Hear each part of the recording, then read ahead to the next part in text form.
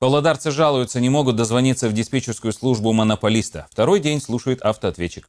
Это и другие видео в нашем сегодняшнем мобильном приложении. Давайте вместе смотреть.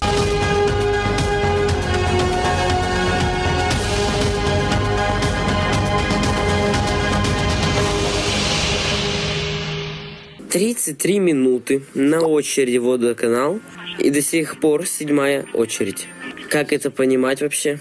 Второй день звоним, не можем дозвониться. Хочу обратиться к вам за помощью. Вот такую справку мне дают в ГАИ. Машины уже больше семи лет нету. Частный судебный исполнитель никак не может мне э, у, у меня убрать с компьютера. Я не могу выехать в Россию. Помогите, пожалуйста. Вот дом, Естая 140. На крыше 8 излучателей, 8 антенн стоит, которые непонятно что излучают. И все идет на, в квартиры напротив жителей верхних этажей. Вот он этот дом.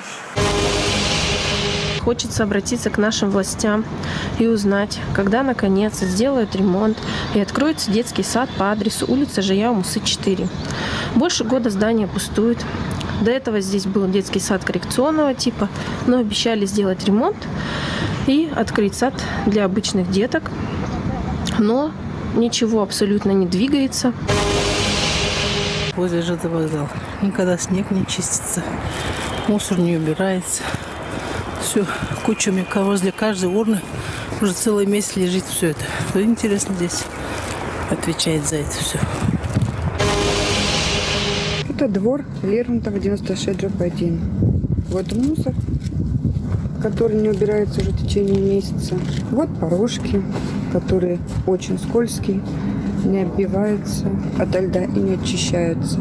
А вот дорога, которую нужно топать ножками, чтобы дойти до конца дома. Извините, можно и ноги сломать.